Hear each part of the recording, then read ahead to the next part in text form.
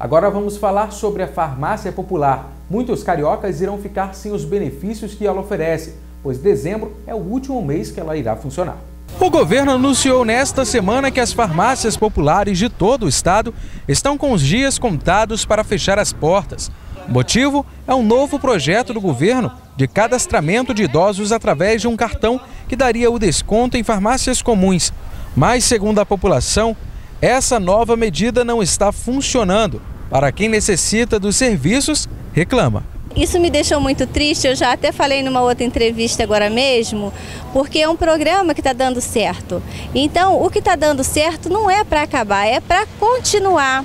E tem uma coisa que nós temos que falar, que esse programa da farmácia popular, além das fraldas, ele faz um trabalho social de atendimento a essas famílias, um acompanhamento e tem também essa questão importante das pessoas que têm um salário baixo, porque a maioria dos aposentados ganha um salário mínimo e tem remédios caríssimos que eles não têm condições de comprar. E aqui, através da farmácia popular, eles têm essa condição de comprar. Né? Tem as pessoas com pessoas deficientes que precisam de fralda, então essa farmácia não pode acabar.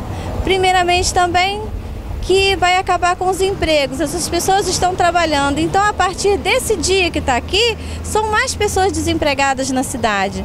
Nós não podemos aceitar. O nosso governador foi reeleito. Se ele foi reeleito, é porque a população confiou nele. Então, agora ele deve retornar trazendo benefícios à comunidade, à população, não retirando os benefícios que tinha antes. Dona Gilsária compra fralda para seu pai há mais de um ano.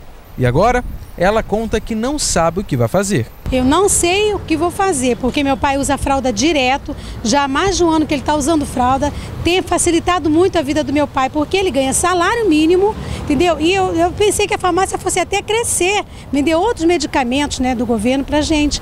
Então eu não sei como vai ser agora daqui por diante.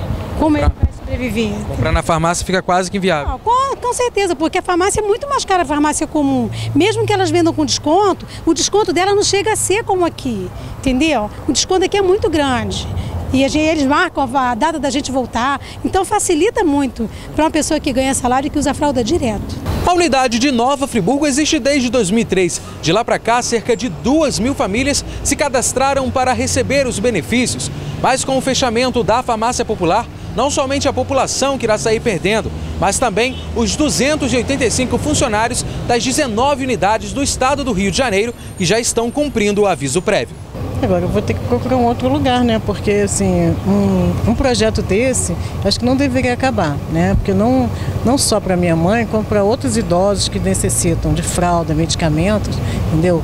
O governo, ou não sei lá, ou sei lá, né? Quem está fechando esse projeto. Deveria ver o lado das pessoas que realmente necessitam desse, né, de desse material que tem aqui na farmácia. E faltando pouco menos de um mês para o fechamento das portas, já são poucos os medicamentos encontrados na farmácia popular.